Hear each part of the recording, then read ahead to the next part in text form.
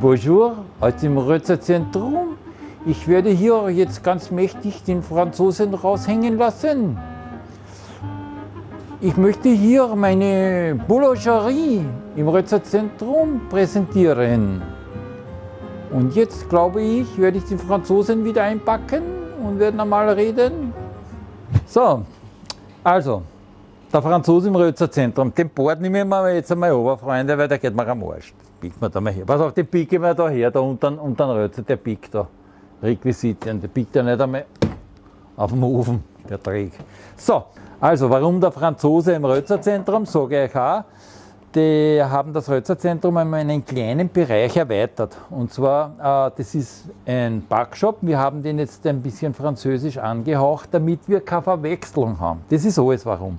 Und zwar habe ich das Boulangerie genannt. Das ist in Frankreich die Bäckerei. Äh, das hat mir recht gut gefallen und sie haben traditionell, wir können das einmal auf YouTube ein bisschen anschauen, die haben richtig traditionelle, was mir so gut gefällt, Bäckereien, richtig traditionell. Und darum habe ich gesagt, ja, warum nicht? Nennen wir das Boulangerie. Warum es Boulangerie Paula heißt, die Paula wiederum ist meine Großmutter.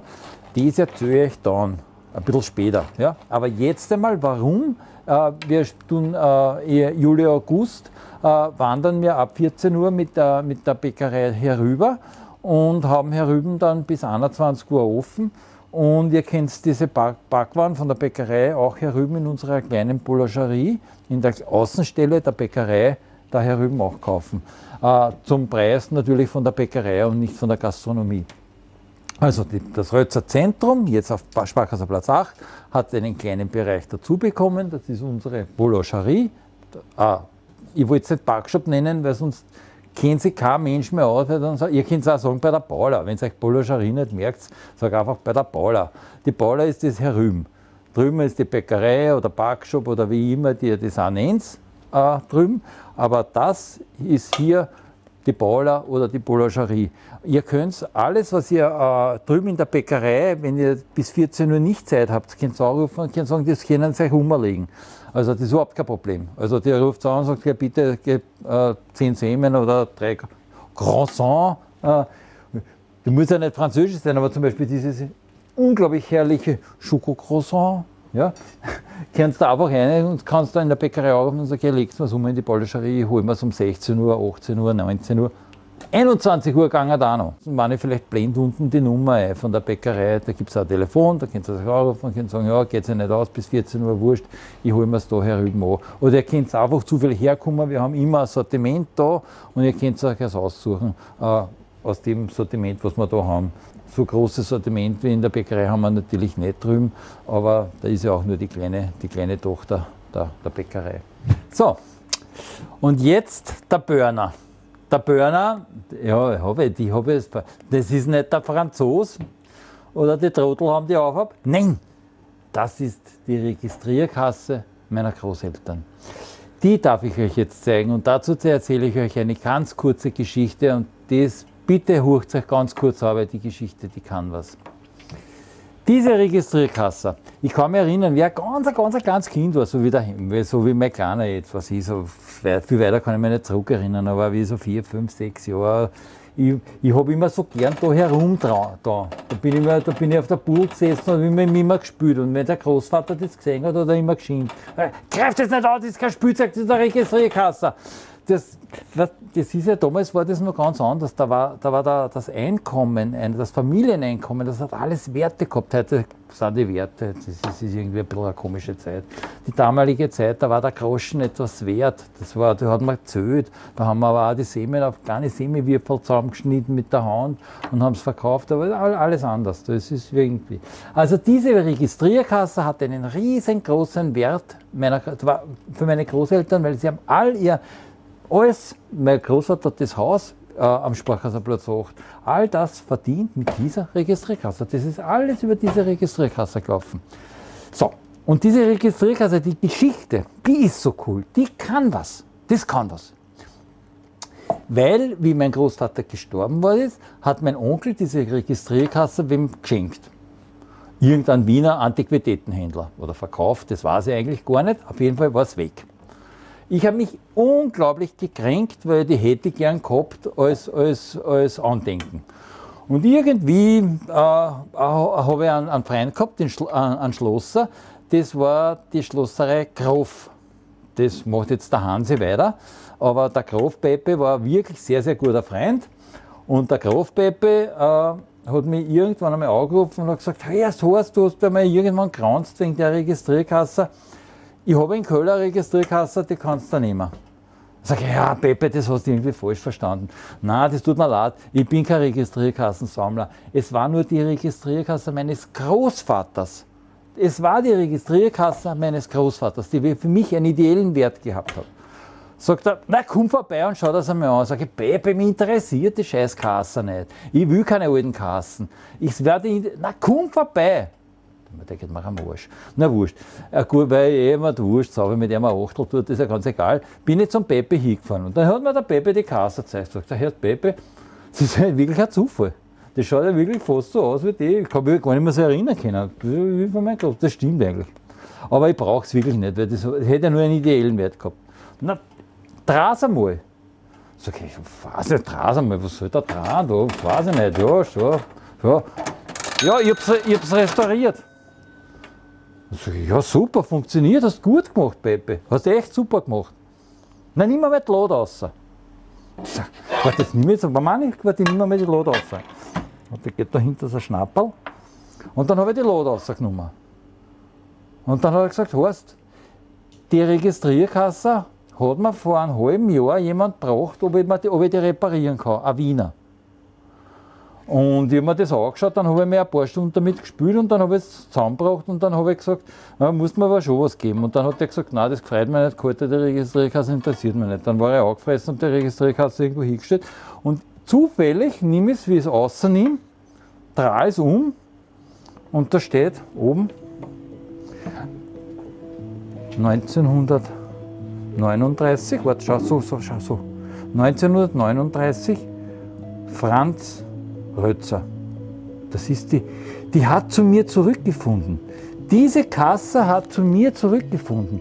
Die Energie, diese Verzweiflung, die ich gehabt habe, weil, weil das eigentlich von meinen Großeltern was ganz was Besonderes war, den Wert. Und irgendwie hat mich, hat mich echt kränkt, dass ich es nicht habe.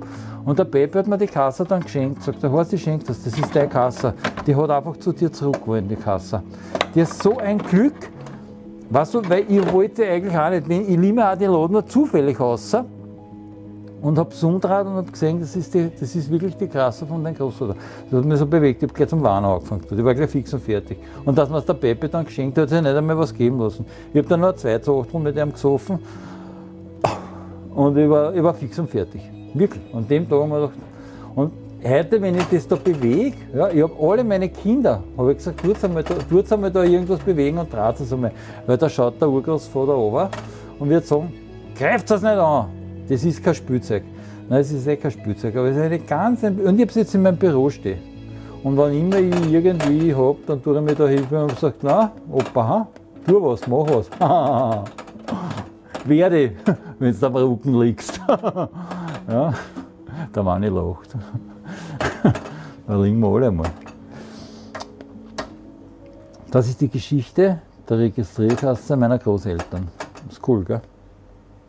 So, also einmal lege ich jetzt noch nach im Geschichtsunterricht. Ich habe noch etwas. Diese Registrierkasse war schon, war schon weit rausgekommen, aber ich habe noch, und zwar jetzt, da, da, da, da, das ist das Originalschild eines Eiswagerl, mit dem meine Großmutter, die Paula, an die Donau aus Eis geliefert hat. Das wurde damals mit Eisblöcke und da ist es Eis und da haben die halt kurz gehabt und sind zur Donau rausgefahren, haben sie das Wagerl zur Donau rausgeschoben und haben dort das Eis verkauft. Das ist ein bisschen Familiengeschichte. Äh, ich muss sagen, ich halte diese, wenn ich das schüttel, weil das ist das Original, äh, Originalschild, das habe ich in meinem Büro oben. Äh, das, das, das hat man schon irgendwie mit einem gewissen Respekt in der Hand, weil was diese Frau, weil der, der Mann war eingesperrt, der ist in Sibirien gesessen, das war leider Gottes, das war alles eine ganz schwierige Zeit. Warum ich das jetzt äh, äh, Paula äh, genannt hat, mein Paula Schari, ja, Paula war ja schon ein ganz besonderer Mensch. Also die ist Flucht mit Kindern nach Schweden auf, mein Großvater, äh, russische Gefangenschaft, war eine ganz schwierige Zeit. Aber sie hat das alles geschafft, meine Großmutter. Und irgendwie ist diese Geschichte der, der, der Bäckerei, die das alles durchgestanden hat. Und mein Großvater, der mir eigentlich am Sterbebett mich gebeten hat, mach's weiter, die Bäckerei hast, ich weiß, du bist, da, du bist beim Eis, aber mach's weiter. Und irgendwie, die Geschichte meiner Familie, das ist was Besonderes. Und irgendwie, weiß ich nicht. Äh, ich halte das sehr in Ehren, weil das sind Menschen, die unglaublichen Willen gehabt haben und unglaublich Stärke, die haben da nicht leicht aufgegeben, die waren nicht irgendwie. So, gut. Also, die Paulascherie heißt Paula, weil meine Großmutter die Paula war und weil ich äh, glaube, dass das eine ganz besondere Energie hat. Und darum ist diese kleine Außenstelle meiner Bäckerei drüben äh, jetzt da und ihr könnt zurück sagen, das holen wir bei der Paula. Das hätte mir sogar gefreut, wenn das irgendwie im Sprachgebrauch auch so bleibt. Und ihr wisst jetzt, wie die Bäckerei auf Französisch heißt. Und jetzt braucht es nicht so, ich weiß das auch noch nicht so lange. Mir hat halt das nur so diese Geschichte, ich habe sehr viel über Bäckereien im, im, Internet nachgelesen, weil mich das interessiert, weil ich selber eine habe. Und da sind mir diese französischen Bäckereien halt aufgefallen, weil das so, so liebevoll und so traditionelle Backwaren äh, gemacht haben und äh, das, das Haushalt Balscherie Kassen. Ich würde jetzt sagen, wir werden uns, weil wir das ja ein bisschen französisch angekauft haben und wir auch gute Croissants haben, werden wir das jetzt ausklingen lassen mit einem leckeren Schokocroissant und einem ungefüllten Croissant. Und jetzt sagen, wir werden uns von Segafredo, ich liebe diesen Segafredo Kaffee, das mit dem aromatischen, ich bitte, bitte, bitte, ihr könnt alle vier Sorten, beim, äh, wir haben alle, alle Sorten von Segafredo, also ja, alles ein bisschen übertrieben. Wir haben vier Sorten von Segafredo, aber probiert einmal den würzigen, den wirklich starken, den, den, den, den roten, den originalen.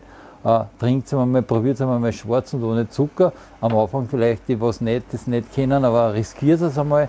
Äh, die Franzosen sagen Noir, der Café Noir, ich habe einen Petit Noir, ich habe einen, einen kleinen, äh, äh, das weiß ich von meinen Frankreich-Urlauben.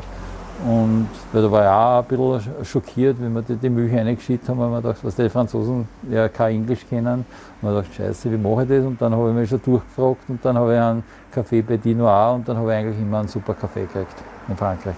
Also riskiert es einmal ein Schokocroissant oder ein normales Croissant, vielleicht zum Frühstück. Und das war es jetzt wieder aus dem Rötzerzentrum.